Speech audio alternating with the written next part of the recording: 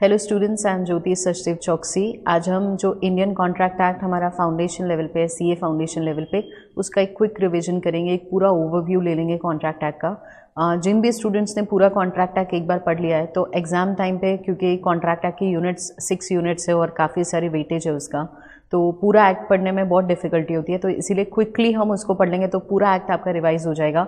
उसके बाद you can go for the practical question and the question answer reading okay तो आज हम क्विकली नॉर्मली जब मैं क्लासरूम टीचिंग करती हूँ तो लास्ट लेक्चर में हम ये क्विक रिविजन करते हैं पूरा एक्ट का। अभी मैं आपको ऑनलाइन इसको रिवाइज करवाना चाहूँगी। So we are starting with Indian contract act eighteen सबसे पहले हमेशा मैं बोलती हूँ एक्ट का ईयर हमेशा याद होना चाहिए जो आपको आंसर में हमेशा मेंशन करना है। सो so, हमारे एक्ट का ईयर है Indian the Indian contract act it is 1872 तो सबसे पहले ईयर याद रखना 1872 हर एक एक्ट का आप ईयर याद रखोगे whether it is partnership sale of goods और कंपनीज़ एक्ट ठीक है कॉन्ट्रैक्ट एक्ट का ईयर है 1872 इंट्रोडक्शन में सबसे पहले इसकी डेट याद रखना। फ़र्स्ट सितंबर 1872 को फोर्स में आया। किस डेट को फोर्स में आया? फ़र्स्ट सितंबर 1872 ये उस डेट और उसके बाद अप्लाई होगा, उससे पहले अप्लाई नहीं होगा। ठीक है? किस डेट से अप्लाई होगा? फ़र्स्ट सितंबर 1872 और फोर्थ पॉइंट याद रखना, ये एग्जॉस्टिव नहीं है। इसमें सब कुछ नहीं आता है। अगर पार्टनरशिप का कॉन्ट्रैक्ट करना हो या गुड्स का कॉन्ट्रैक्ट करना हो तो उसके लिए अलग से एक्ट है, ये बेसिक जनरल एक्ट है। इसमें सब कुछ नहीं आता, ये इनकम्प्लीट है। इसीलिए उसको बोला जाता है नॉट एक्सॉस्टिव ठीक है? और फिर डेफिनेशंस में आ जाते हैं हम, जिसमें कॉन्ट्रैक्ट का डेफिनेशन बहुत इंपॉर्टेंट है। सेक्शन के साथ उसको याद रखना है। टू एच और कॉन्ट्रैक्ट को कैसे डिफाइन किया है? An agreement which is enforceable by law ठीक है? पहले क्या होता है? ए बी को प्रॉमिस करता है। ए बी को ऑफ़र करता है। बी एक्सेप्ट करता है तो प्रॉमिस बनती है। फिर बी कुछ ऑफ़र करेगा ए एक्सेप्ट करेगा तो प्रॉमिस बनेगी। तो सेट ऑफ़ प्रोमिस बन गए। और सेट ऑफ़ प्रोमिस अगर लीगल रिलेशन उसमें आ जाता है तो कॉन्ट्रैक्ट बन जाता है। ठीक है? तो पहले क्या होता है? एक्सेप्टेंस ऑफ़ प्रपोजल मतलब ऑफ़र एक्सेप्ट होगा तो प्रॉमिस बनेगी। फिर सेट ऑफ़ प्रोमिस क्रिएट होती है। दो नो एक दूसरे को कुछ ना कुछ प्रॉमिस करते हैं तो उससे एग्रीमेंट बनता है। And finally when it is enforceable by law ये वर्ड आपको याद रखना ही पड़ेगा। Enforceable by law तो उससे क्या बन जाएगा? कॉन्ट्रैक्ट बन जाएगा। ठीक है? एनफोर्सेबल बाय लॉ मतलब कायदा द्वारा मान्य। ठीक है? कॉन्ट्रैक्ट का डेफिनेशन इंपॉर्टेंट याद रखना। अच्छा हर कॉन्ट्रैक्ट एग्रीमेंट है, ठीक है? ऑल कॉन्ट्रैक्ट्स आर एग्रीमेंट्स क्योंकि कॉन्ट्रैक्ट बनता ही एग्रीमेंट से तो कॉन्ट्रैक्ट है मतलब एग्रीमेंट तो होगा ही so all contracts are agreements but it is not necessary that every agreement becomes a contract ये ज़रूरी नहीं है कि हर एग्रीमेंट कॉन्ट्रैक्ट बन जाए, ठीक है? लीगल रिलेशन होगा तो ही कॉन्ट्रैक्ट बनेगा, अगर सोशल रिलेशन है इलीगल रिलेशन है तो फिर कॉन्ट्रैक्ट नहीं बनेगा। तो ये हेडिंग आपको याद रखनी है, इस पर स्पेसिफिक क्वेश्चन एग्ज़ाम में आ सकता है। All agreements are not contracts तो ऑल कॉन्ट्रैक्ट्स आर एग्रीमेंट्स तो इसमें आप पहले तो बेसिक कॉन्ट्रैक्ट क्या होता है एग्रीमेंट क्या होता है वो बताओगे। उसके बाद रिलेशंस पे बताओगे कि लीगल रिलेशन होगा एनफोर्सेबल बाय लॉ होगा तो कॉन्ट्रैक्ट बनेगा। सोशल जो रिलेशनशिप वाले अग्रीमेंट होते हैं उसमें कॉन्ट्रैक्ट बनेगा नहीं। ठीक है?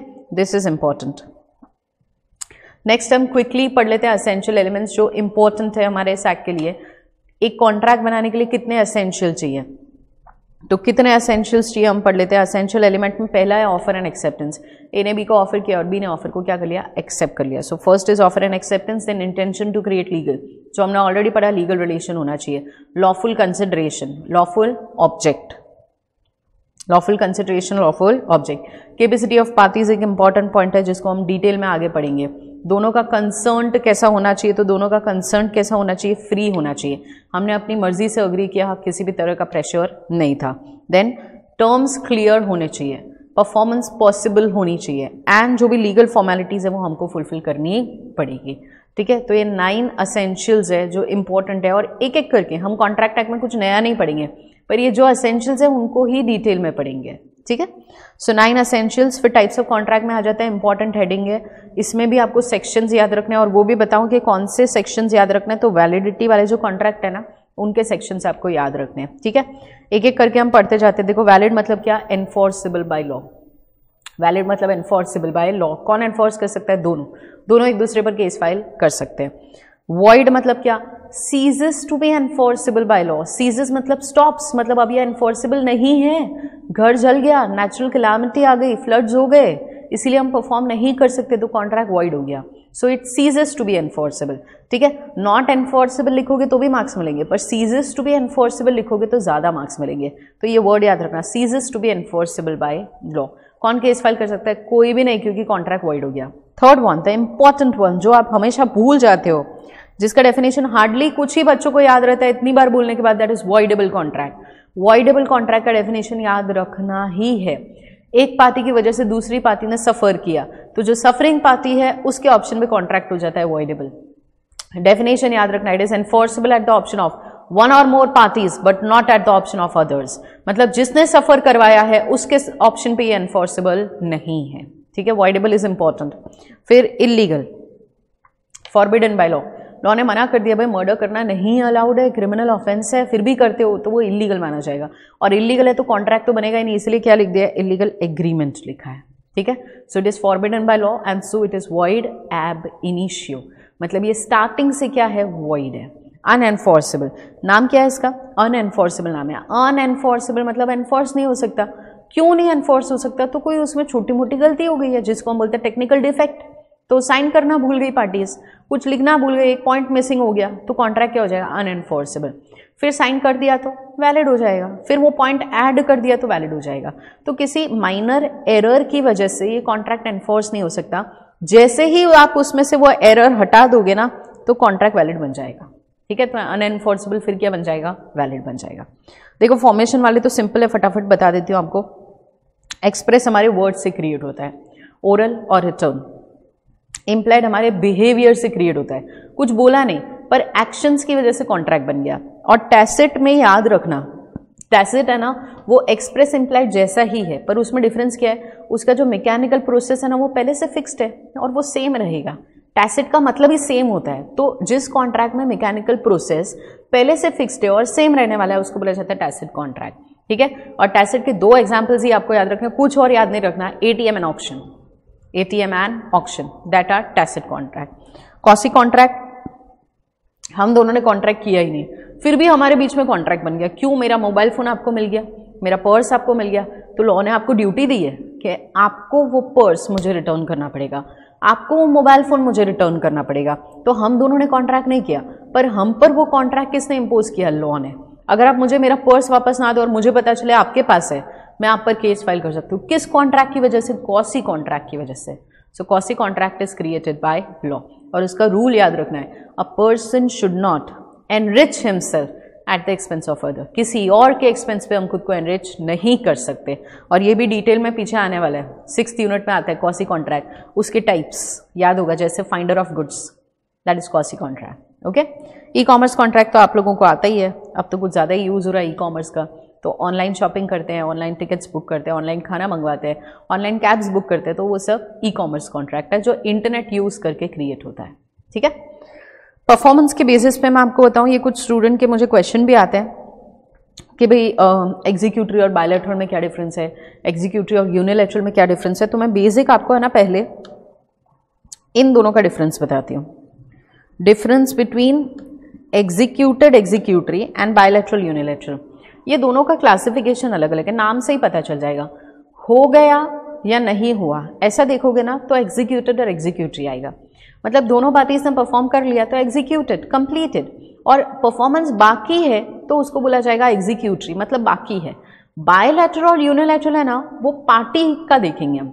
किस पार्टी का हुआ है और किस पार्टी का बाकी है तो नाम कौन सा लोगे? बायोलैटरल एंड यूनिलैटरल देखो परफॉर्मेंस देखना हो ना कि परफॉर्मेंस हुआ है या परफॉर्मेंस बाकी है तो एग्जीक्यूटेड एग्जीक्यूटरी आएगा। और पार्टी वाइज देखना हो ना कि किस पार्टी का बाकी किस पार्टी का हो गया तो बायोलेटरल यूनिलेटरल बायोलेटरल मतलब दोनों साइड से। और यूनिलेटरल मतलब एक साइड से। ठीक है तो हो सकता है दोनों साइड से बाकी हो तो उसको क्या बोला जाएगा? बायोलेटरल और हो सकता है एक ने परफॉर्म कर लिया और एक का बाकी है, जैसे कि क्रेडिट सेल्स तो उसको क्या बोला जाता है? यूनिलेटरल बोला जाता है। ठीक है तो ये बायोलेटरल यूनिलेटरल है ना, कुछ नया नहीं है। पर ये है ना एग्जीक्यूटरी का ही एक पार्ट है। दोनों का वाक्य तो बायोलेटरल प्लस एग्जीक्यूटरी बोलोगे। एक का वाक्य तो यूनिलेटरल प्लस एग्जीक्यूटरी बोलोगे। ठीक है? क्लियर ये टाइप्स ऑफ़ कॉन्ट्रैक्ट है। पढ़ लेना उनके डेफिनेशंस ऑलरेडी मैंने आपको बता दिया है। डिफरेंस बिटवीन कर लेना दोनों इंपॉर्टेंट है। Void voidable and void illegal ये नॉर्मली मैं होमवर्क में देती हूँ बच्चों को लिखने के लिए, खुद से लिख के आना। तो खुद एक बार नोटबुक में डिफरेंस बिटवीन लिख देना। आता सब कुछ है पर लिख नहीं पाते हो। इसीलिए बोल रहे हो कि राइटिंग प्रैक्टिस रखो। तो डिफरेंस बिटवीन लिख देना। देखो वाइड वाइडेबल में क्या डिफरेंस है? ज़्यादा तो सोचना नहीं है। एक तो डेफिनेशन हमारे पास होती है। दूसरा एग्ज़ाम्पल हमारे पास होता है। तीसरा वो क्यों वॉइड हुआ? उसका रीज़न क्या है? कोई इम्पॉसिबिलिटी अराइज हो गई। कोई इम्पॉसिबिलिटी अराइज हो गई। घर जल गया हॉर्स की डेथ हो गई गवर्नमेंट ने बैन कर दिया, उसमें मेरी कोई गलती नहीं इम्पॉसिबिलिटी अराइज हो गई। इसकी वजह से वो कॉन्ट्रैक्ट वॉइड हो जाता है। वॉइडेबल क्यों होता है बताओ तो what is the reason voidable consent free नहीं है तो कॉन्ट्रैक्ट क्या हो जाएगा वॉइडेबल अच्छा वॉइड में मेरे पास वैलिड रखने का ऑप्शन ही नहीं है, पर वॉइडेबल में जो अग्रीड पार्टी है, उसके पास ऑप्शन है, वो बोले तो वैलिड वो बोले तो वॉइड ठीक है? So that is the difference between void and voidable next difference है वॉइड और इलीगल के बीच में, वो भी इंपॉर्टेंट डिफरेंस बिटवीन है। See next difference is between void and illegal ये तो आपको पता है। देखो, मैंने हॉर्स सेल करने का कॉन्ट्रैक्ट किया, उसके बाद हॉर्स की डेथ हो गई तो वो वॉइड है। वो कुछ इलीगल नहीं है, मैंने लॉ के अगेंस्ट कुछ नहीं किया। पर परफॉर्मेंस नहीं हो सकता, उसकी वजह से वॉइड हो गया। पर इलीगल में तो क्या है? मर्डर किया, चोरी किया लॉ में लिखा है, नहीं कर सकते, फिर भी कर रहे हैं। तो दैट इज़ इलीगल उसमें तो पनिशमेंट भी मिलेगी। तो illegal is forbidden by law law ने मना किया, फिर भी करते हो तो पनिशेबल है। एंड इलीगल इज़ वॉइड एब क्योंकि मना किया है। वॉइड में तो क्या था? पहले वैलिड था, क्योंकि पहले तो हॉर्स ज़िंदा था। फिर उसकी डेथ हो गई ना, उसकी वजह से कॉन्ट्रैक्ट क्या हो जाता है? वो वॉइड हो जाता है। ठीक है? So that is the difference between void and illegal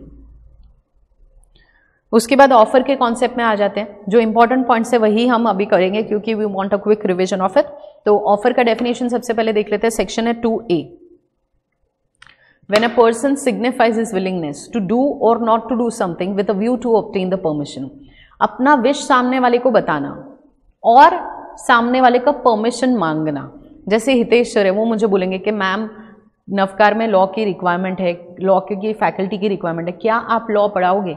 जैसे ए बी को बोलता है, मुझे आपको गुड्स सेल करने हैं टेन थाउज़ेंड में, क्या आप खरीदोगे?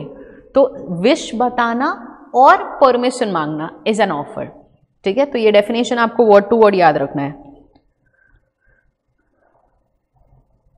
काफ़ी सारे स्टूडेंट्स पूछते हैं कि मैम वर्ड टू वर्ड लिखना पड़ेगा एग्ज़ाम में। अच्छा और कोई कॉन्सेप्ट है?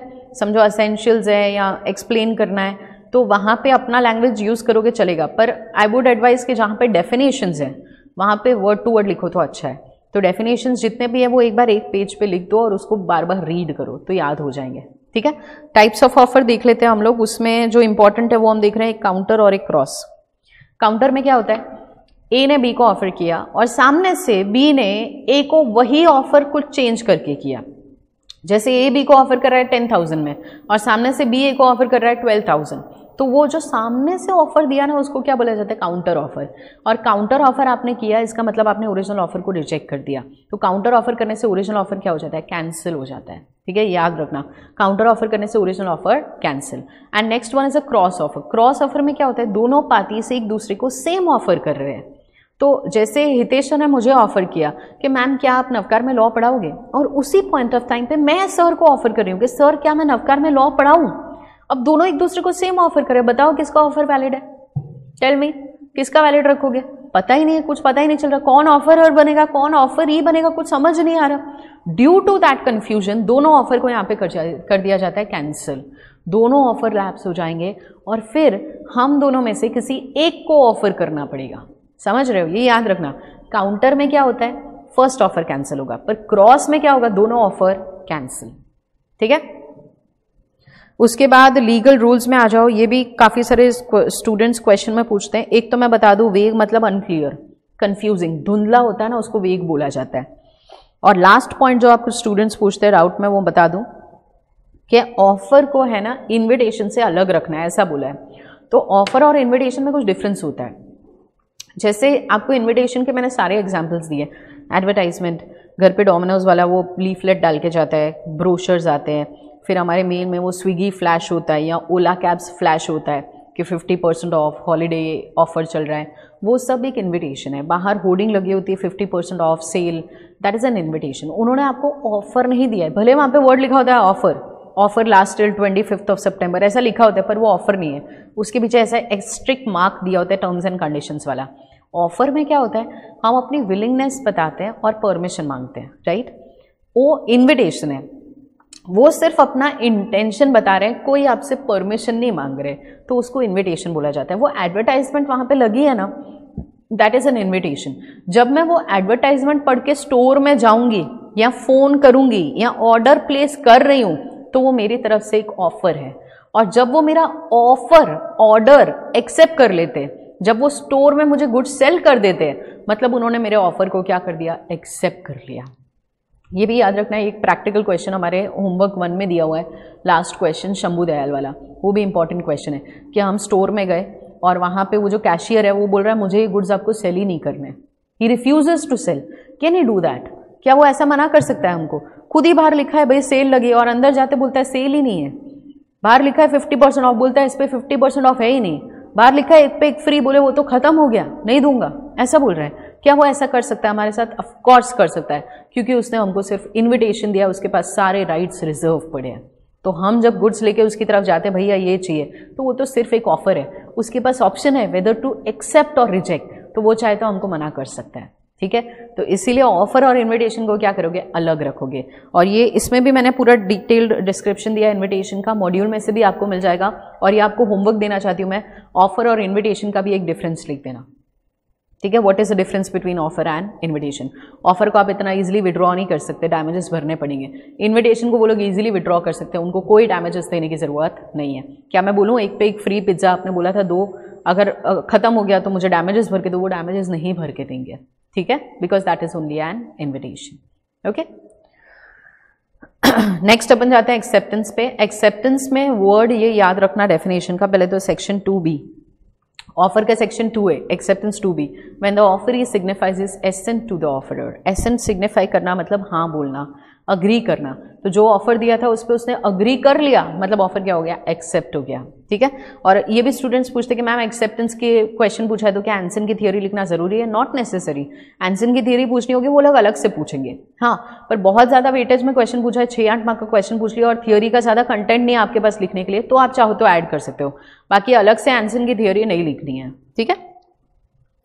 फिर लीगल रूल्स फॉर एक्सेप्टेंस में first point important absolute and unqualified clear acceptance होना चाहिए और कोई कंडीशन नहीं रखनी है, क्योंकि कोई नई कंडीशन ऐड करोगे ना तो वो काउंटर ऑफ़र बन जाएगा। तो इसीलिए कैसा होना चाहिए? अनकंडीशनल और अनकंडीशनल के लिए देखो, ये लोग क्या वर्ड यूज़ करते हैं? अनक्वालिफाइड तो एग्ज़ाम में अगर ऐसा पूछा ना acceptance must be absolute and unqualified comment तो कंफ्यूज मत हो जाना। अनक्वालिफाइड मतलब unconditional without any conditions and six one silence does not amount to acceptance ये इंपॉर्टेंट है भाई। किसी के साइलेंस को आप एक्सेप्टेंस नहीं मान सकते। तो अगर हमने ऑफ़र किया और ऐसा हम लिख देते, भाई, अगर रिप्लाई नहीं करोगे तो हम हाँ मान लेंगे। तो वो नहीं चलेगा। एक ही कंडीशन में चलेगा, जब ऑफ़र ही ने अग्री किया हो। जिसका एग्ज़ाम्पल आपको दो sales on approval sales on approval में क्या होता है? हम गुड्स भेजते हैं दस दिन के लिए। अब दस दिन के लिए भेजे, उसने कुछ भी नहीं बोला, दस दिन खत्म हो गए, क्या माने? सेल्स मान लेंगे। मान लेंगे कि उसने एक्सेप्ट किया। साइलेंस को एक्सेप्टेंस मान लिया। क्यों मान लिया? क्योंकि पहले से उस कंडीशन पे किसने अग्री किया है? ऑफरी ने। तो मेरी बात समझो। आप साइलेंस को नॉर्मली एक्सेप्टेंस नहीं मान सकते। एक सिचुएशन में मान सकते हो, जब ऑफरी का कंसर्न हो। इसका मतलब जिसके साइलेंस को आप एक्सेप्टेंस मान रहे हो, उसका अप्रूवल होना चाहिए। फिर ही आप उसके साइलेंस को एक्सेप्टेंस मान सकते हो। ठीक है? उसके बाद कम्युनिकेशन का कॉन्सेप्ट थोड़ा सा ट्रिकी है, पर हमने उसको सिंपली तीन डेट में याद रखना है। ऑफ़र का कम्युनिकेशन सेवनटीन एक्सेप्टेंस का कम्युनिकेशन ए के लिए नाइनटीन और बी के लिए ट्वेंटी फ़र्स्ट और इन केस पूछा है कि कॉन्ट्रैक्ट कब से क्रिएट होगा तो नाइनटीन से कॉन्ट्रैक्ट बन जाता है। उसके बाद अगर एक्सेप्टेंस लेटर गुम भी हो गया ना, फिर भी कॉन्ट्रैक्ट क्या माना जाएगा? वैलिड माना जाएगा, ये याद रखना। ठीक है? एक्सेप्टेंस लेटर गुम भी हो गया ना, फिर भी कॉन्ट्रैक्ट क्या माना जाएगा? वैलिड ठीक है? कम्युनिकेशन का रूल है, फिर कंसिडरेशन ये भी स्टूडेंट्स पूछते हैं कंसिडरेशन क्या है? तो हितेश सर मुझे पेमेंट करते हैं, वो कंसिडरेशन मैं सर को लेक्चर लेके देती हूँ, वो मेरी तरफ़ से consideration something in return does और एब्सटेन कुछ करना और कुछ ना करना. सर ने बोला, नवकार में पढ़ाओ कहीं और मत पढ़ाओ तो यहाँ पढ़ाना भी कंसिडरेशन और कहीं और ना पढ़ाना भी मेरी तरफ़ से कंसिडरेशन उसको बोला जाता है डज और एब्सटेन्स फ्रॉम डूइंग ठीक है? तो इसमें ये वर्ड याद रखना. डेफिनेशन पूरी याद रखनी है when at the desire of the promisor promise or any person has done और abstain. Abstain मतलब not to do, ना करना. तो act मतलब positive, abstinence मतलब negative. ठीक है? कंसिडरेशन के असेंशियल्स भी याद रखना. ऐसा ना हो एग्ज़ाम में असेंशियल्स पूछो और याद ही नहीं आ रहा है कि क्या था कंसिडरेशन के असेंशियल्स में. ऐसा नहीं है हाँ। और कंसिडरेशन आए ना तो प्लीज़ प्रॉमिस और प्रॉमिस तो याद रखना. अब तक क्या होता था? एक्सेप्टेंस तक है ना? ऑफ़र और ऑफ़र ही आता था. कंसिडरेशन जैसे ही स्टार्ट होगा मतलब कॉन्ट्रैक्ट बन चुका है. तो प्रॉमिस और प्रॉमिस ही आ जाएगा। दो पॉइंट याद रखोगे तो फ़र्स्ट दो पॉइंट तो ऑलरेडी आ गए।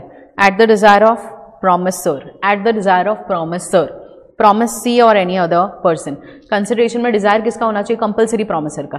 कंसिडरेशन प्रॉमिस सी की जगह पे कोई और देगा तो भी चलेगा। ठीक है? और इसका केस याद रखना, चिनाया वर्सेस रमाया। पढ़ लेना उसको। फिर पास प्रेजेंट और फ्यूचर अभी दो प्रेजेंट में दो या फ्यूचर में, बाद में दे दो तो भी चलेगा। और फोर्थ पॉइंट इंपॉर्टेंट है। कंसिडरेशन नॉर्मल वैल्यू से कम होगी तो भी चलेगा। अगर मेरे पास गुड्स है, जिसकी वैल्यू पाँच हज़ार है, पर मुझे पैसों की ज़रूरत है और मैं उसको तीन हज़ार में बेचूं तो भी चलेगा।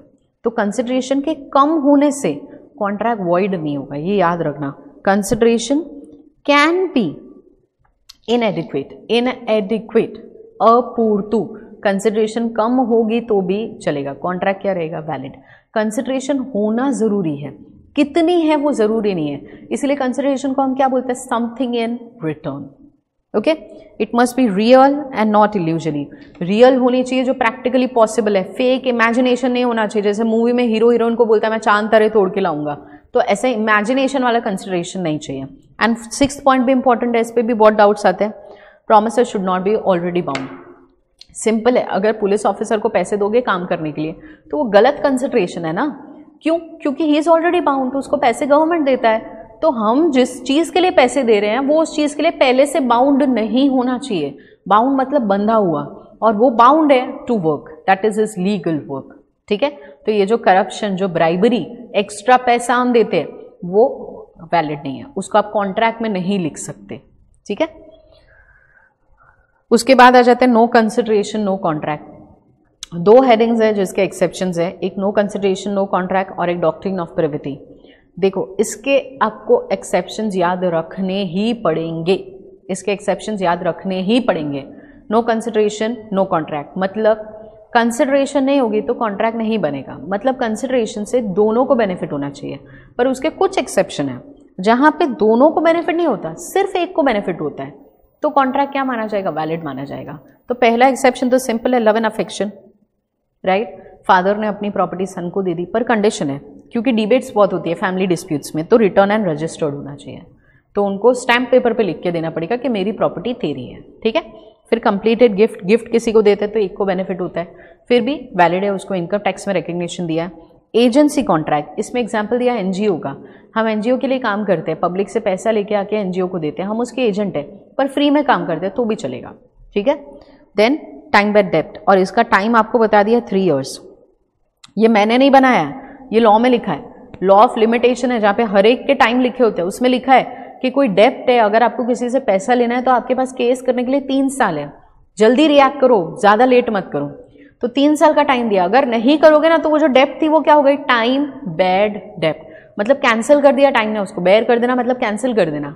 अब आप केस नहीं कर सकते। तो तीन साल के बाद अगर सामने वाला जाग जाता है और मेरे को राइटिंग में प्रॉमिस करके देता है कि मैं पे कर दूँगा तो फिर मैं उस पर केस फ़ाइल कर सकती हूँ। तो ये प्रॉमिस देखो कैसा होना चाहिए। रिटर्न एंड साइन सिंपल है, देखो, तीन साल के बाद मेरी डेप्ट क्या हो जाएगी? कैंसिल वाइड केस नहीं कर सकती। पर तीन साल के बाद सामने वाला लिख के देना तो वो जो कॉन्ट्रैक्ट वाइड हुआ था, वो फिर से क्या हो जाएगा वैलिड फिर से मैं केस कर सकती हूँ। फिर से मेरे पास कितने ईयर्स आ गए? थ्री ईयर्स आ गए। ठीक है? And compensation for past voluntary service यहाँ पे आपको एग्ज़ाम्पल दिया था ब्लड डोनेशन का। ब्लड डोनेशन दिया वॉलेंटरी है कंपलसरी नहीं है, हम सबको नहीं देना, जो चाहे दे सकता है। पर वो लोग सर्टिफिकेट और कार्ड देते हैं। बोलते हैं कि जब आपको ब्लड की ज़रूरत होगी, हम प्रायोरिटी बेसिस पे आपको ब्लड देंगे। अब हमको ज़रूरत है और नहीं दे रहे। We can file a case that is compensation for past voluntary service ठीक है? ये याद कर लो, पांचवा एक्सेप्शन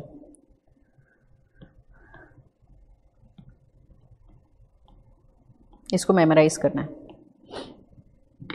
ठीक है?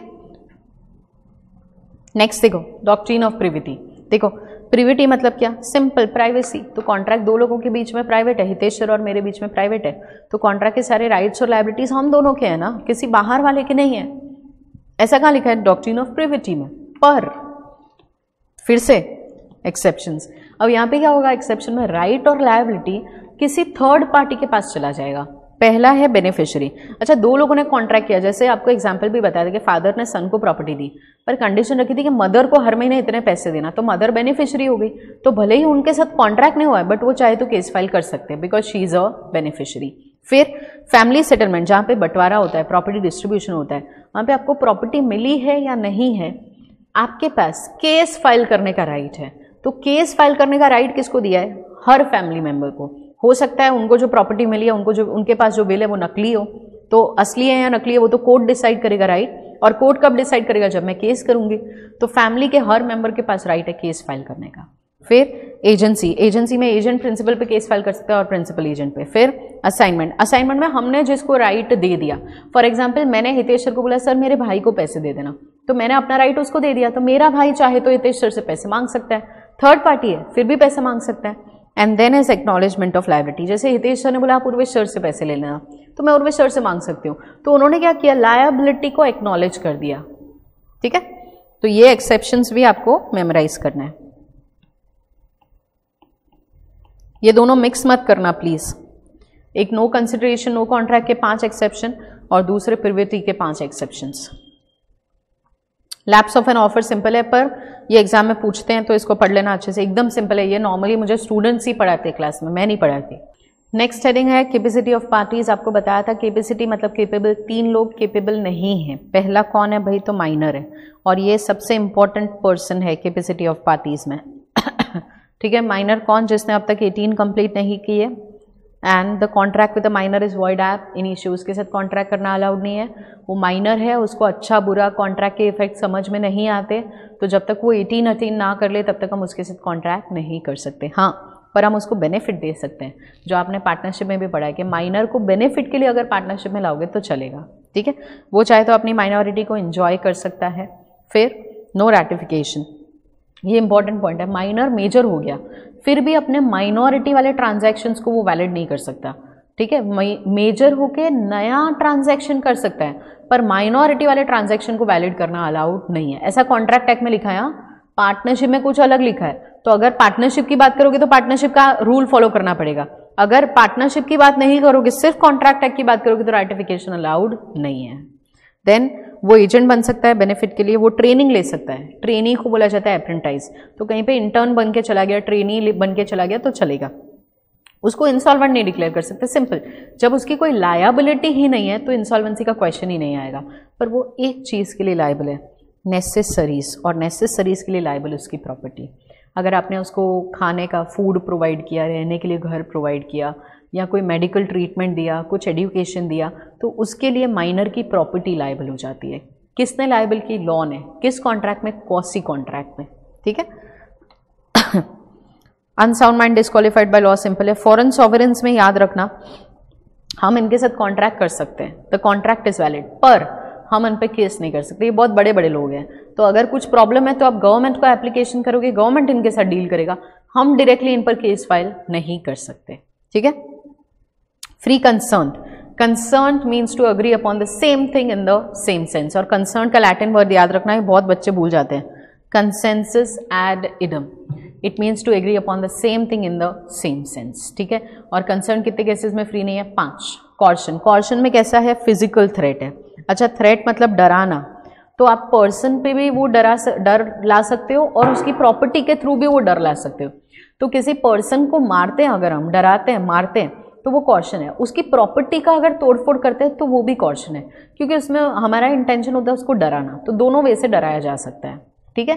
And it can be done by parties और आउटसाइडर नॉर्मली कौन करता है? मुन्ना भाई ये वाले काम करता है तो वो तो आउटसाइडर है। तो कॉशन पार्टी खुद भी कर सकती है और किसी बाहर वाले से भी करवा सकती है। ये क्रिमिनल ऑफेंस है, इसीलिए आईपीसी में पनिशेबल है। और सबसे इंपॉर्टेंट यहाँ पे कॉन्ट्रैक्ट हो जाएगा वाइडेबल ये याद रखना, ये सारे बच्चे भूल जाते हैं, पता नहीं कैसे भूल जाते हैं। चार points coercion undue influence fraud misrepresentation इन चारों केसेस में कॉन्ट्रैक्ट इज़ वॉइडेबल मिस्टेक में क्यों नहीं होगा? क्योंकि टाइप्स ऑफ़ मिस्टेक है। तो हमको देखना पड़ेगा कौन से टाइप की मिस्टेक है, उसके बेसिस पे हम डिसाइड करेंगे। ठीक है? पर यहाँ पे वॉइडेबल चारों केसेस में कॉन्ट्रैक्ट इज़ वॉइडेबल ठीक है? अंडियो इन्फ्लुएंस में आता है। सिंपल सा एग्ज़ाम्पल मैं आपको देती हूँ टीचर एंड स्टूडेंट स्टूडेंट की दो लाख की गाड़ी है। और मैंने उसको बोल दिया, भाई, इसकी तो वैल्यू एक्चुअली बीस हज़ार है। और उसने मान लिया और मेरे को बीस हज़ार में गाड़ी दे दी। तो मैंने उसको मारा तो नहीं, मैंने उसको गन पॉइंट पर भी नहीं रखा, मैंने कुछ किया भी नहीं, उसकी प्रॉपर्टी को भी डैमेज नहीं किया। तो फिर क्यों मैंने गलत किया? तो मैंने क्या किया? उसका माइंडसेट चेंज कर दिया। तो उसको बोला जाता है अनड्यू इन्फ्लुएंस अपनी हायर पोजीशन का यूज़ करके लोअर पोजीशन वाली पार्टी का माइंडसेट चेंज कर देना. उसको गलत वे में इन्फ्लुएंस करना, उसको बोला जाता है अनड्यू इन्फ्लुएंस ठीक है? इसमें कैसा प्रेशर है? मॉरल और मेंटल और यहाँ पे देखो, यहाँ पे भी कॉन्ट्रैक्ट क्या हो जाएगा भाई? वॉइडेबल हो जाएगा. फिर ये तीन कंडीशन याद रखना. नोन टू ईच अदर जानते होंगे तो ही तो बात मानेंगे भाई. फिर डोमिनेट एक हायर पे एक लोअर पे और ट्रांजैक्शन अनरीजनेबल मतलब कुछ गलत हुआ है। अगर दो लाख की गाड़ी मैं दो लाख में खरीदूँगी तो कुछ अनड्यू इन्फ्लुएंस है ही नहीं। पर दो लाख की गाड़ी जब हम बीस हज़ार में खरीदते तो उसको बोला जाता है अनड्यू इन्फ्लुएंस ठीक है? तो ये तीन कंडीशन इंपॉर्टेंट है। पार्टीज़ एक दूसरे को जानती होनी चाहिए। डोमिनेटिंग पोजिशन होनी चाहिए और ट्रांजेक्शन में कुछ गलत दिखना चाहिए। ठीक है? इसके एग्ज़ाम्पल सारे पढ़ लेना। काफ़ी एग्जाम्पल्स मैंने आपको दिए। Master servant employer employee father son teacher student doctor patient lawyer client ये सारे अनड्यू इन्फ्लुएंस के एग्ज़ाम्पल ठीक है? फ्रॉड सबसे इंपॉर्टेंट है और इसको मॉड्यूल में से पढ़ लेना। फ्रॉड को मॉड्यूल में से पढ़ लेना सेक्शन सेवेंटीन ठीक है? फ्रॉड में it is a intentional act जान पूछ के किया। डिसीव मतलब चीट करने का इंटेंशन था। पता है, गलत है तो भी गलत बोल रही हूँ, क्योंकि मुझे फ्रॉड करना है राइट और यहाँ पे भी फिर से कॉन्ट्रैक्ट क्या हो जाएगा? अवॉइडेबल और इंपॉर्टेंट है आई कैन क्लेम डैमेजेस ये डैमेजेस मिस रिप्रेजेंटेशन में अलाउड नहीं पर फ्रॉड में अलाउड है। ठीक है? और लास्ट पॉइंट मोस्ट इंपॉर्टेंट किसी के साइलेंस को हम फ्रॉड नहीं मान सकते, उसके दो एक्सेप्शन है। जहाँ पे उसकी ड्यूटी थी, पर उसने नहीं बताया। जैसे सोगा में आता है कि गुड्स में कुछ डेंजरस है, कुछ हार्मफुल है तो पहले से बताना पड़ेगा, आपको ड्यूटी दिया लॉ है फिर भी नहीं बताओगे तो फ्रॉड है। And where his silence is equivalent to speech ये पॉइंट याद रखना। साइलेंस इज़ नॉट फ्रॉड ठीक है? ये आपको डिटेल में मिल जाएगा मॉड्यूल में और नफकार की बुक में। उसके बाद मिस रिप्रेजेंटेशन एकदम सिंपल है अनइंटेंशनल हमारा चीट करने का इंटेंशन नहीं था। फिर यहाँ पे भी देखो रिप्रेजेंटेशन क्या है? फॉल्स पर मुझे क्या लगा कि मैं सही बोल रही हूँ? I believe it to be true मुझे नहीं पता था कि मैं गलत बोल रही हूँ। ठीक है? यहाँ पे भी कॉन्ट्रैक्ट क्या हो जाएगा? अवॉइडेबल पर डैमेजेस मांगना अलाउड नहीं है। ठीक है?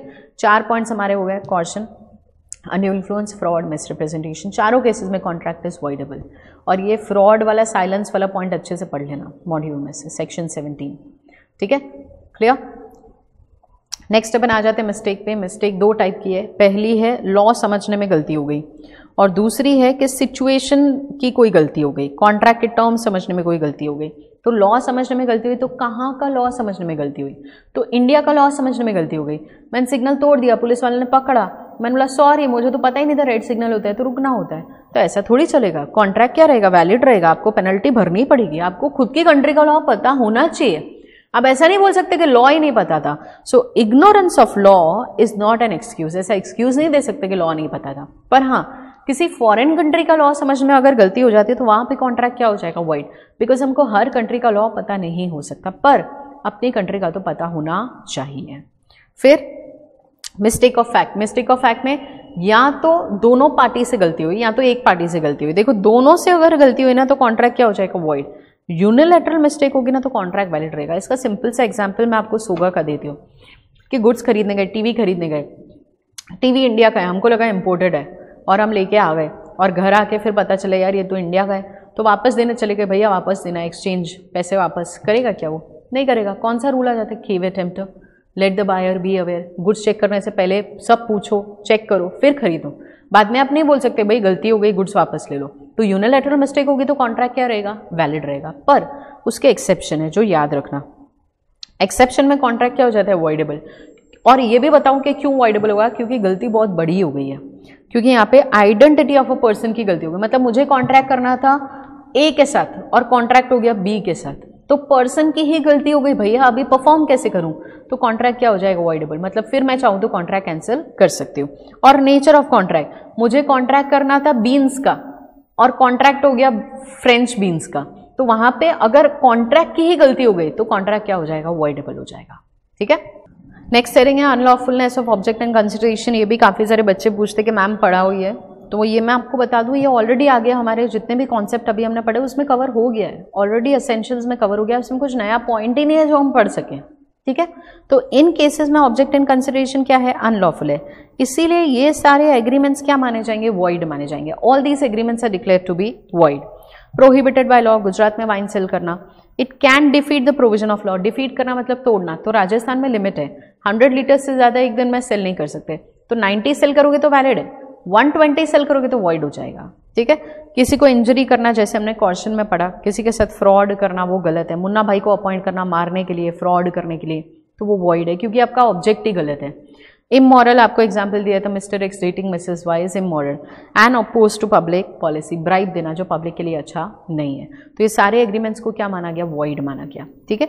इसमें से एक हेडिंग है लास्ट वाला जो डिटेल में दिया है, जो हम पढ़ेंगे इंपॉर्टेंट है। Opposed to public policy public के अगेंस्ट में ये सारे एग्रीमेंट्स इसीलिए ये सारे एग्रीमेंट्स को भी क्या डिक्लेयर कर दिया है? तो वॉइड डिक्लेयर कर दिया। कितने एग्रीमेंट्स है टोटल इलेवन फ़र्स्ट किसी के मैरिज के राइट को आप रेस्ट्रिक्ट नहीं कर सकते। किसी के लीगल राइट्स को आप रेस्ट्रिक्ट नहीं कर सकते। किसी को कोर्ट में बोलने जाना है पर आप उसको किडनैप कर रहे हो। किसी का राइट है केस फ़ाइल करने का पर आप बोल रहे हो केस मत करो। तो ऐसे राइट्स आप रेस्ट्रिक्ट नहीं कर सकते। मैरिज में पेड ब्रोकर्स इन्वॉल्व करना अलाउड नहीं है। एनिमी कंट्री के साथ ड्यूरिंग द वॉर कॉन्ट्रैक्ट करना अलाउड नहीं है। अच्छा हमने ड्यूरिंग द वॉर कॉन्ट्रैक्ट किया सीजी सेंट्रल गवर्नमेंट से अप्रूवल लेने के बाद, चलेगा। ठीक है? सीजी बोलेगा तो चलेगा, उसके अलावा नहीं चलेगा।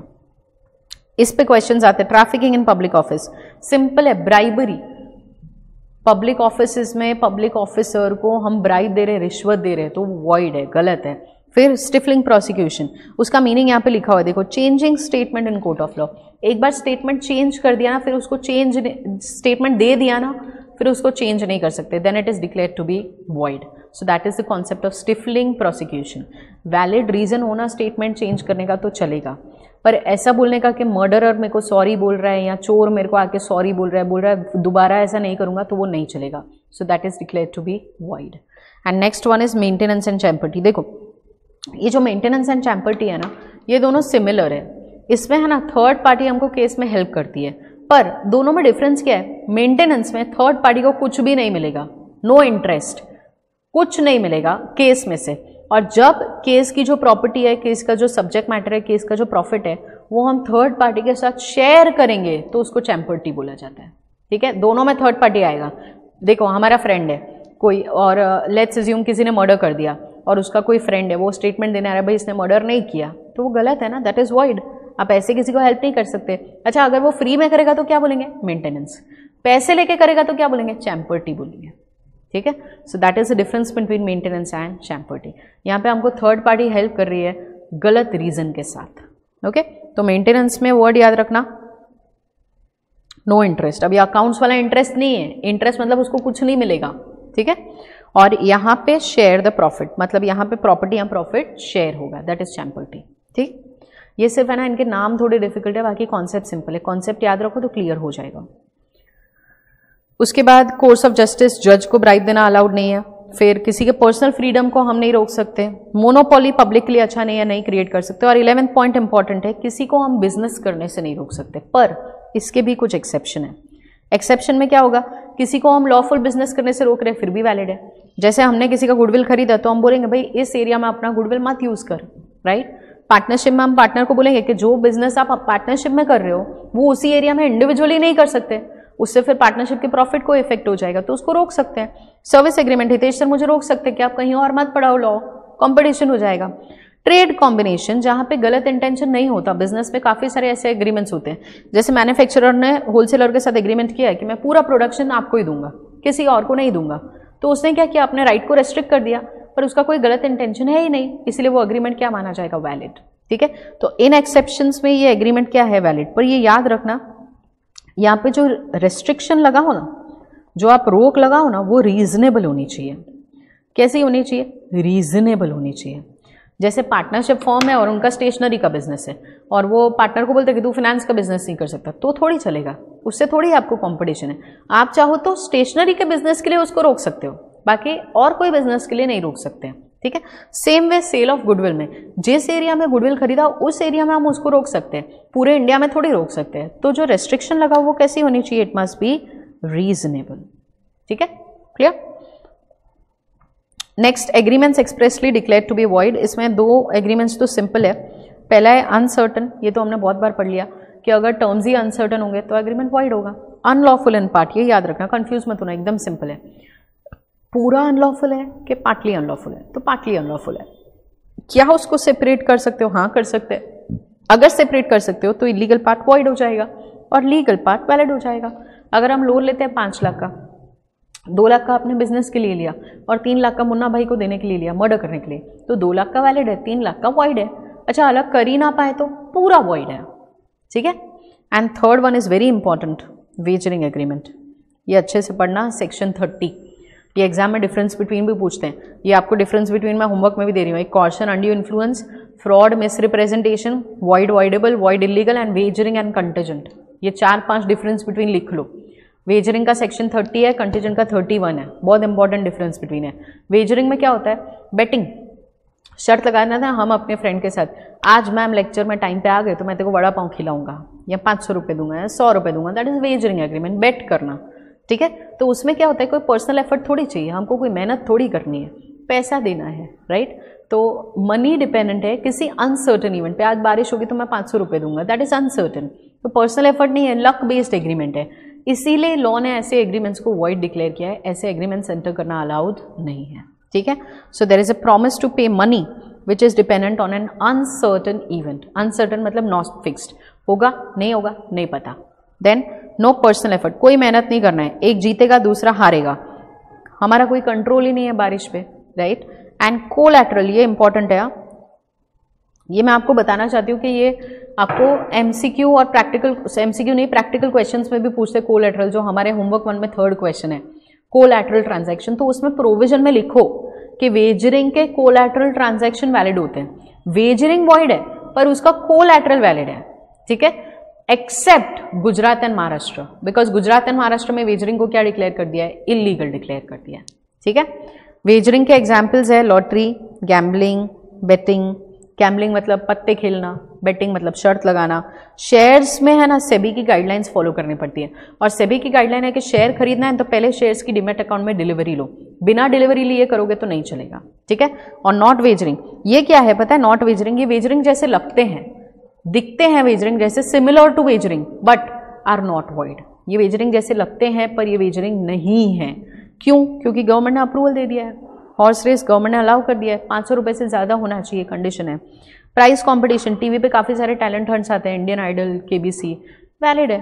फिर क्रॉसवर्ड कंपटीशन न्यूज़पेपर में वो गेम्स आती है क्रॉसवर्ड कंपटीशन अगर सारा फिल करके भेजोगे तो आपको प्राइस मिलेगा। वैलिड है। And shares in stock with delivery ठीक है? तो ये सारे एग्रीमेंट्स क्या है? वैलिड है। क्लियर वेजरिंग एग्रीमेंट पढ़ लेना इंपॉर्टेंट है। कंटीजन कॉन्ट्रैक्ट आ गया। ये कॉन्ट्रैक्ट में क्या है? पैसा वैसा नहीं है। मुझे परफॉर्म करना है। मुझे आपको क्रॉप्स देने हैं। पर बारिश होगी तो मेरे क्रॉप्स ग्रो होंगे। शिप आएगी तो मैं आपको गुड्स दे पाऊँगी ना? तो मेरा जो परफॉर्मेंस है, वही अनसर्टन इवेंट पे डिपेंडेंट है। तो उसको क्या बोला जाता है? कंटेजन कॉन्ट्रैक्ट ठीक है? तो यहाँ पे देखो क्या डिपेंडेंट है? कॉन्ट्रैक्ट डिपेंडेंट है। वेजरिंग में क्या था भाई? मनी डिपेंडेंट था।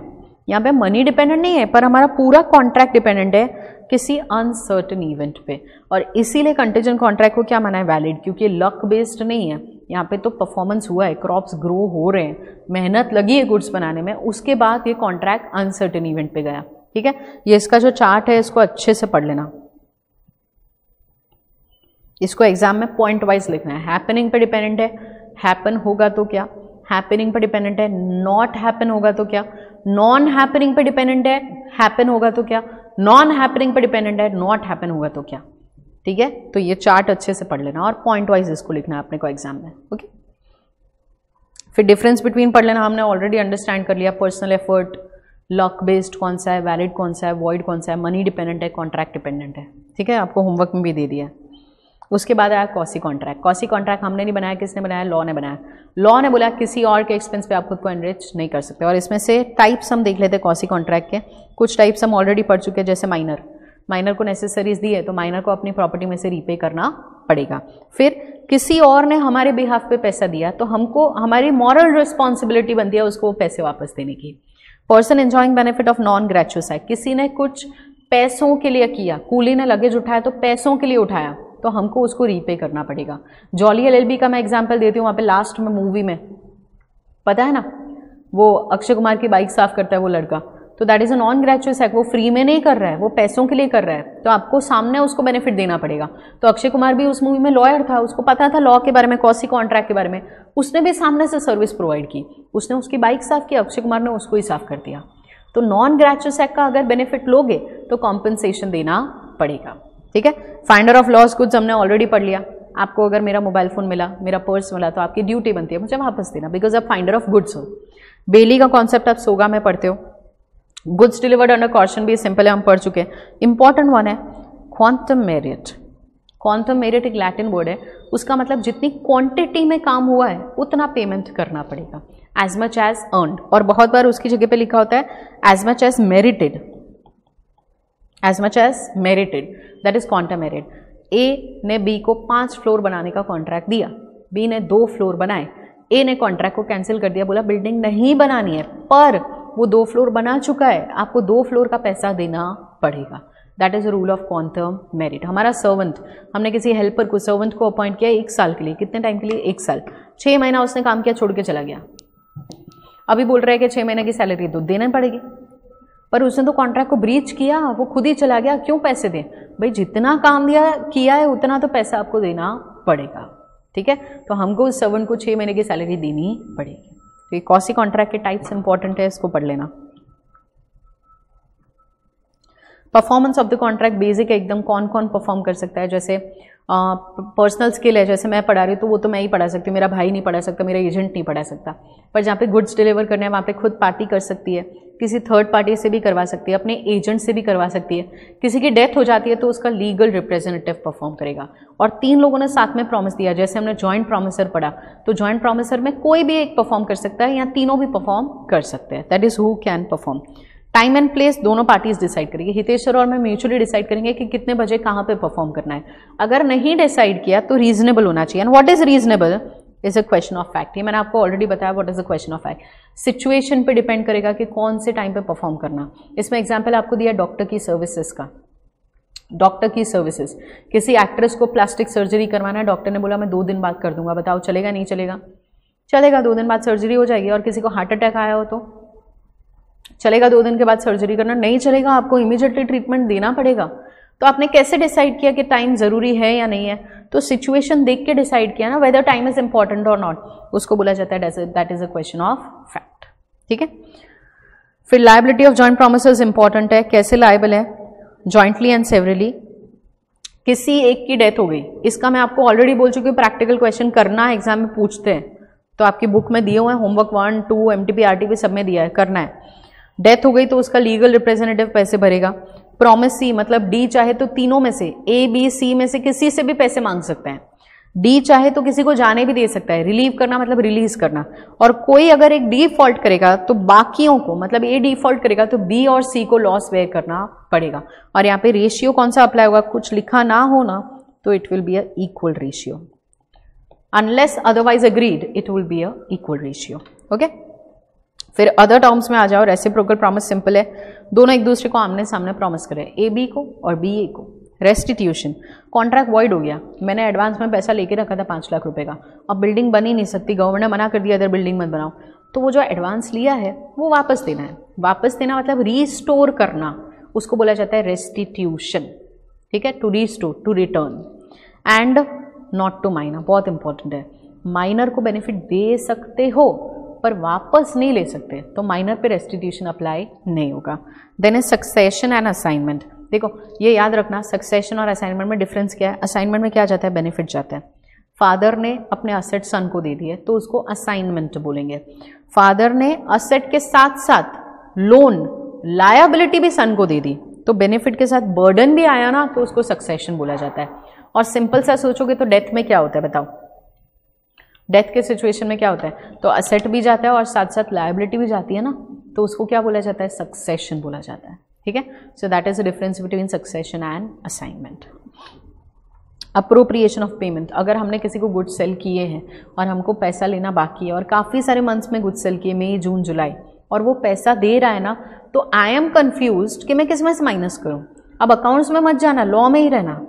ठीक है? लॉ में ही रहना। लॉ ने क्या बोला है? भाई, दो पार्टीज़ है ना। वो लोग डिसाइड करेंगे कि इसमें से माइनस होगा। पहला राइट उन्होंने दिया है डेटर को। मतलब जो पैसा दे रहा है, वो मुझे बताएगा कि मैं जून के लिए दे रहा हूँ तो मैं जून में से माइनस करूँगी। अगर वो नहीं बताता है तो फिर मैं डिसाइड करूँगी मुझे किसमें से माइनस करना है। और अगर हम दोनों नहीं डिसाइड कर पाते तो फिर आपका अकाउंट्स आएगा order of time FIFO first in first out ठीक है? तो पहले डेटा डिसाइड करेगा, वो ना बोले तो क्रेडिटर डिसाइड करेगा। दोनों ना डिसाइड कर पाए तो ऑर्डर ऑफ़ टाइम आएगा। क्लियर इसको पढ़ लेना इंपॉर्टेंट है आप हाँ? छोड़ मत देना। डिस्चार्ज ऑफ़ कॉन्ट्रैक्ट इतनी मुश्किल से हमने कॉन्ट्रैक्ट एक्ट पढ़ा कॉन्ट्रैक्ट क्रिएट किया असेंशियल्स बनाए, अब जाके हमारा कॉन्ट्रैक्ट खत्म। तो हमारा कॉन्ट्रैक्ट क्यों खत्म हो रहा है? What is the reason for discharge performance या तो दोनों ने परफॉर्म कर लिया, जिसको बोला जाता है एक्चुअल परफॉर्मेंस या तो एक ने ट्राई किया, पर नहीं हुआ। मैंने हितेश सर को रिक्वेस्ट किया सर लेक्चर्स रख दो। पर सर ने लेक्चर्स नहीं रखे। तो मेरा परफॉर्मेंस कैसा है? अटेम्प्टेड ट्राई करना। लैप्स ऑफ़ टाइम एक साल का अग्रीमेंट हुआ था एग्रीमेंट खत्म तो कॉन्ट्रैक्ट भी खत्म. देन ऑपरेशन ऑफ़ लॉ दो वेज है डेथ एंड इंसॉल्वेंसी ठीक है? फिर इम्पॉसिबिलिटी इंपॉर्टेंट है, इस पर प्रैक्टिकल क्वेश्चन भी आते हैं, इसको पढ़ लेना. अब इम्पॉसिबिलिटी का क्वेश्चन है तो बच्चे पूछते प्रोविज़न में क्या लिखे? तो इम्पॉसिबिलिटी लिखोगे ना, कि इम्पॉसिबिलिटी दो टाइप की है at the time and after और दोनों केसेस में कॉन्ट्रैक्ट वाइड हो जाता है डिस्चार्ज हो जाता है. तो इम्पॉसिबिलिटी का कॉन्सेप्ट लिखोगे. तो दो है at the time and after ठीक है पहले से पता था तो वॉइड एबिनिशियो नहीं नहीं पता था तो जब पता चलेगा तब वॉइड हो जाएगा। और ये जो आफ्टर वाली है ना, ये इंपॉर्टेंट है और इसका नाम याद रखना सुपरविनिंग और सब्सिक्वेंट और इंग्लिश लॉ में इसको बोला जाता है डॉक्ट्रीन ऑफ़ फ्रस्ट्रेशन ये जिसके एग्जाम्पल्स मैंने आपको दिए कॉन्ट्रैक्ट किया, फिर कंट्री के साथ वॉर हो गया कॉन्ट्रैक्ट किया, फिर फ्लड्स आ गए नेचुरल कलामिटी आ गई हॉर्स का कॉन्ट्रैक्ट किया हॉर्स की डेथ हो गई, ठीक है? तो ऐसी सिचुएशंस की वजह से मेरा कॉन्ट्रैक्ट क्या हो गया? वॉइड हो गया, ठीक है? देन इज़ म्यूचुअल एग्रीमेंट मतलब दोनों पार्टीज़ ने आपस में अग्री करके कॉन्ट्रैक्ट कैंसिल कर दिया। और इसमें सिक्स वेज है डिस्चार्ज के नोवेशन पुराना कॉन्ट्रैक्ट कैंसिल करके नया बनाया। पुराना कैंसिल किया, नया नहीं बनाया। That is rescission cancellation alteration पुराने कॉन्ट्रैक्ट में ही कुछ चेंज कर दिया। रेमेशन में एक्सेप्टेंस ऑफ़ लेसर परफॉर्मेंस दस हज़ार की जगह पे सात हज़ार में मान जाना। वेवर पूरा सेक्रीफाइस कर देना। दस हज़ार के सामने ज़ीरो मत दो, चलेगा। दैट इज़ वेवर ठीक है? And merger inferior right is merge into a superior right जैसे सर ने बोला था फाउंडेशन में लॉ पढ़ाना, मैंने बोला ओके okay. फिर सर बोल रहे सी ए में पढ़ाऊँ तो सी ए में तो फाउंडेशन भी आया इंटर भी आया फाइनल भी आया। तो तीनों आ गए ना, और फाउंडेशन भी आ गया। तो inferior right is merge into a superior right ठीक है? And six one the last one that is breach of contract breach करना मतलब ब्रेक करना, तोड़ना। मतलब हमने कॉन्ट्रैक्ट के टर्म्स एंड कंडीशंस को फॉलो नहीं किया। और कितने टाइप की ब्रीच है? तो दो टाइप की ब्रीच है। एक्चुअल आज मुझे लेक्चर लेना था, मैं लेक्चर में आई ही नहीं. दैट इज़ एक्चुअल ब्रीच मैंने कल ही सर को बता दिया कि सर मैं आज नहीं आऊँगी. दैट इज़ एंटिसिपेटिव ब्रीच पहले से एस्टिमेशन दे देना, बता देना. उसको बोला जाता है एंटिसिपेशन ठीक है? तो परफॉर्मेंस के डेट पे ब्रीच करोगे तो एक्चुअल ब्रीच और परफॉर्मेंस से पहले ब्रीच करोगे तो एंटिसिपेटरी ठीक है? और एंटिसिपेटरी में सर चाहे तो वेट कर सकते कि शायद मैम आज आ जाए. मैंने उनको मैसेज तो किया कि मैम आना. तो शायद आ जाए. तो वेट करने का ऑप्शन किसमें है? एंटिसिपेटरी में एक्चुअल ब्रीच में नहीं है, ठीक है? और ब्रीच किया है तो फिर रेमेडीज तो देनी पड़ेगी, कुछ सॉल्यूशन तो देना पड़ेगा सामने वाले को, क्योंकि उसने सफ़र किया। तो क्या सॉल्यूशन अवेलेबल है? क्या रेमेडीज अवेलेबल है? तो पहला है रेसिशन मतलब सामने वाला सबसे पहले कॉन्ट्रैक्ट को क्या करेगा? कैंसिल फिर जितना भी लॉस हुआ उसके लिए क्या मांगेंगे? डैमेजेस स्पेसिफिक परफॉर्मेंस मतलब वो चाहे तो परफॉर्म करवा सकता है कोर्ट से ऑर्डर करवाएगा कि नहीं भाई, सोनू ने कहा आपको थर्टी फ़र्स्ट को परफॉर्म करना पड़ेगा। That is a specific performance ठीक है, ये इंपॉर्टेंट है, इसको पढ़ लेना अच्छे से. स्पेसिफिक परफॉर्मेंस इंजक्शन मतलब हम पार्टी को रोक सकते हैं कि आप कहीं और परफॉर्म नहीं कर सकते. ये याद रखना स्पेसिफिक परफॉर्मेंस में परफॉर्म करने के लिए बोला है. इसीलिए उसको क्या माना जाता है? पॉजिटिव इंजक्शन में कहीं और परफॉर्म करने से मना किया है, रोका है, इसलिए उसको बोला जाता है नेगेटिव बाकी दोनों का ऑर्डर कौन देगा? कोर्ट और कॉन्टम मेरिट हम ऑलरेडी पढ़ चुके हैं. जितना काम हुआ है, उतना पैसा तो देना पड़ेगा. And our last heading that is damages तो कितने टाइप के डैमेजेस है? Five first one is ordinary normal situation में जो नॉर्मल लॉस होता है, उसको बोला जाता है ऑर्डिनरी वो हमारा राइट right है, उसको कॉन्ट्रैक्ट में नहीं लिखोगे तो भी चलेगा. ठीक है? जैसे आपको एग्ज़ाम्पल दिया था कि कॉन्ट्रैक्ट किया, भाई, सौ रुपये में गुड्स देना. नहीं दिए. मार्केट में से खरीदे 120 में आया तो बीस रुपये का उसको लॉस देना पड़ेगा. स्पेशल नाम से पता चल जाएगा, ये ऑर्डिनरी नहीं है, ये एक्स्ट्रा ऑर्डिनरी है। तो कुछ एक्स्ट्रा मांगना है तो भी पहले से तो बताना पड़ेगा ना। ऐसे ही थोड़ी मांग सकते हो। तो स्पेशल डैमेज आपका राइट नहीं है।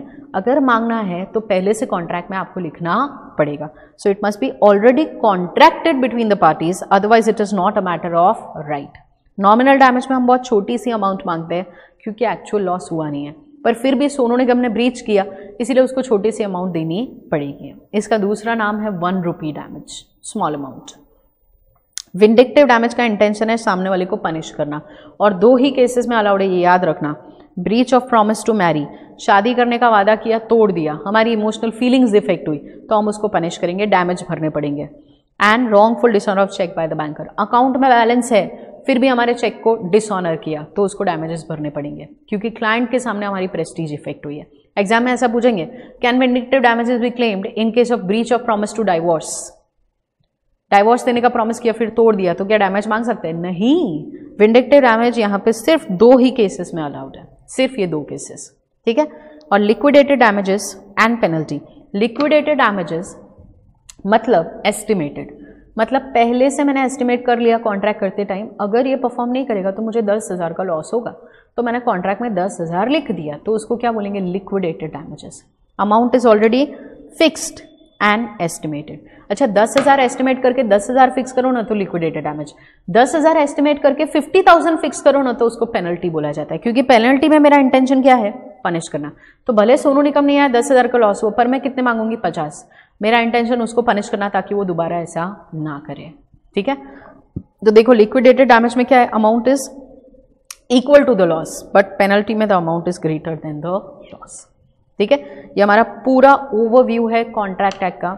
इसको फटाफट क्विकली आप एग्ज़ाम के दिन पे, उससे पहले एक दिन इजीली रिवाइज कर सकते हो।